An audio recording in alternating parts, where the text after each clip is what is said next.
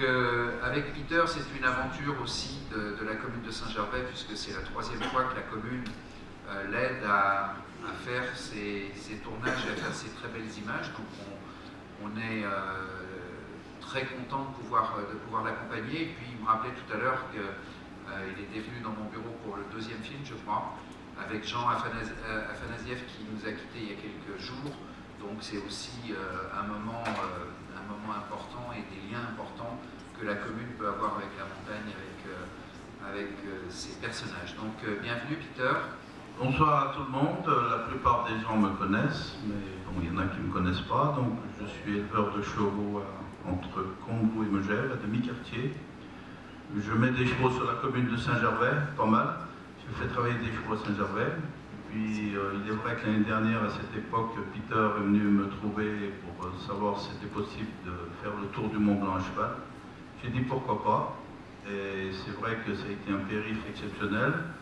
On avait un peu peur d'avoir euh, des soucis avec les chevaux, des soucis de ferrage, des soucis matériels.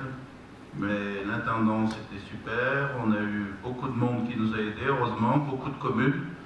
Euh, Serge a fait un montage exceptionnel, surtout pour l'hébergement, pour les restaurants. On arrivait dans les restaurants à midi, tout était prêt, tout ça. Parce qu'il est vrai que pour un tournage, eh ben, il faut beaucoup, beaucoup de temps. Et puis de la patience, et puis c'était pas évident, il y avait quand même 9 personnes à cheval.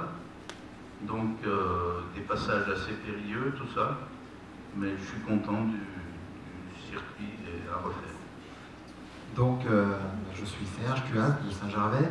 Et donc, euh, Peter est venu me voir euh, au printemps dernier pour proposer ce projet de Tour du Mont Blanc à cheval. Et au même moment, j'étais contacté par, enfin, l'Espace Mont Blanc était contacté par le comité régional du tourisme équestre qui prévoyait de monter un produit Tour du Mont Blanc à cheval, c'est-à-dire un, tour qui se vende partout dans le monde. Parce que, comme, comme le disait Peter tout à l'heure, on va faire du cheval à l'autre bout du monde et euh, on est sûr qu'il y a des gens qui sont intéressés pour faire le tour du Mont Blanc à cheval.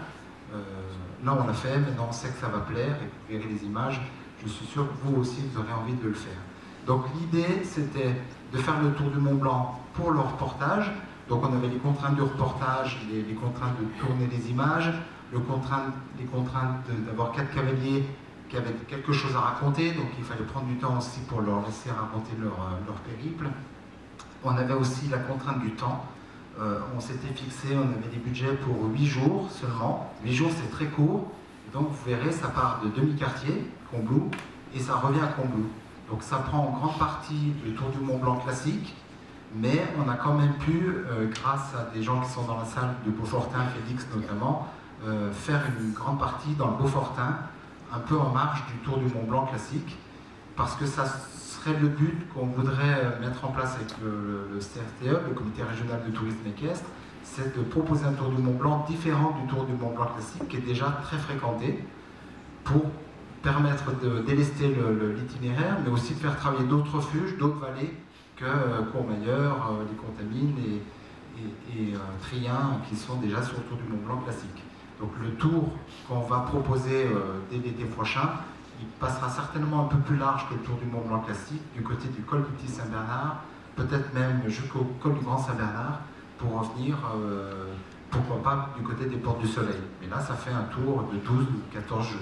Donc euh, tout ça est en train de se mettre en place, mais c'est un peu l'objectif euh, aussi de, promouvoir le Tour du Mont Blanc pour pouvoir promouvoir un tour différent et qui intéresse aussi toutes les clientèles du monde.